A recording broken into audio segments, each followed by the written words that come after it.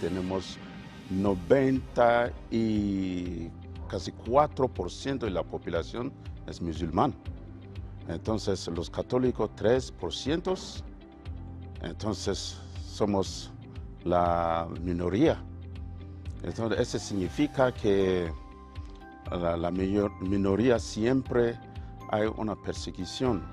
Entonces en mi país, em, con la muerte del presidente de Libia, Gaddafi, entonces tenemos casi muchas personas que entraron en Mali por el norte de Mali y eh, causan la confusión porque llega, llegaron con una mentalidad de mm, una ideología musulmana diferente de aquella de, la, de, de Mali.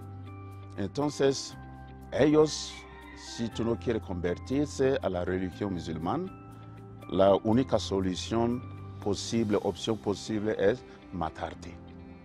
Entonces, están visitando a pueblos tras pueblos para matar a aquellos que no quieren convertirse a la religión musulmana o a los musulmanes que no viven la misma ideología que ellos.